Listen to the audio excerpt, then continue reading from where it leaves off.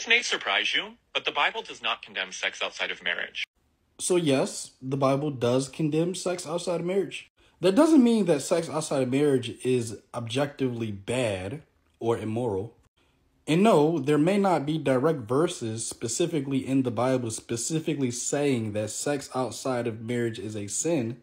But a part of the cultural context of the ancient Near East, sex outside of marriage was frowned upon and it was looked at as immoral. And cultural morals come, they go, they change, they evolve. And so, yes, that was a part of the cultural norms of the day for people to look at sex outside of marriage and think it was bad. But that was a cultural norm that was 2,000 years ago. And I'm a Christian saying this. You know what the Bible doesn't condemn? Slavery. And I'm black. And I'm a Christian saying this. Leviticus 25 45, you may also purchase them from the foreigners residing among you or their clans living among you who are born in your land. These may become your property. Not done yet. You may leave them to your sons after you to inherit as property. You can make them slaves for life. But as for your brothers, the Israelites, no man may rule harshly over his brother. But you may be saying, Wayne, wait, that's the Old Testament. Okay, let's go to the New Testament. In Acts chapter 12, Peter is broken out of jail from an angel and Peter makes his way to go to a house that's filled with Christians. And these Christians are praying for Peter to be released from jail. Well, when Peter goes, he knocks on the door. Acts chapter 12 says, When he knocked at the door of the gate, a slave woman named Rhoda came to answer. Now, some translations will say, Servant girl, this was not a servant. She was a freaking slave. So, Christians in the first century had slaves and it wasn't looked at as immoral in that culture.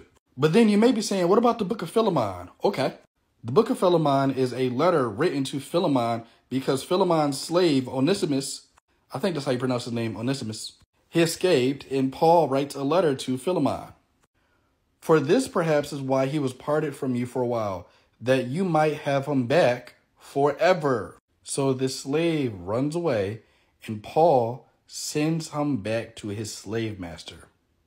Then he says, No longer as a slave, but more than a slave, a beloved brother, especially to me, but how much more to you, both in the flesh and in the Lord. And that might sound great and that might sound nice, but you know what's a whole lot better than sending your slave back to be treated as a brother? Letting your slave go free. And the Bible never once condemns this. Paul doesn't condemn it. Peter doesn't condemn it. James doesn't condemn it. Jesus Christ doesn't condemn it. So, what's my point here? The point is that the Bible was written in a specific cultural context. It was written in a cultural world. And in the cultural world the Bible was written in, people thought that sex outside of marriage was bad.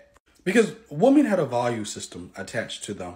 It wasn't really bad if a man had sex before marriage. Men could do pretty much sexually whatever they wanted to do. They could have two, three, four, five, hundreds of wives. But if you were a woman, definitely if you were a woman, you had no rights. So let's just be technical here. Sex outside of marriage for women was looked at as bad in the ancient Near East, but they also thought slavery was completely fine. So because the Bible is a part of that cultural world, of course the Bible condemns sex outside of marriage. And of course, the Bible accepts slavery. But just don't treat your slave too bad. If he's your brother and if he's not your brother, well, screw it. But in the New Testament, if he's not your physical brother or descendant, well, he's your brother in spirit, and you can have your spiritual Christian brother as a physical slave. Because morals so I am a Christian.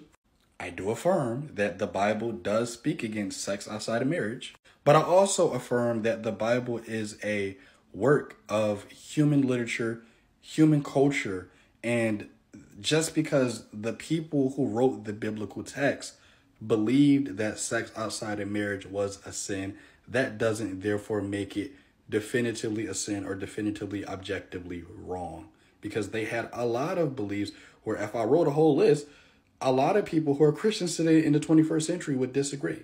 So, as a Christian, I don't look at the Bible as a legal or moral rule book.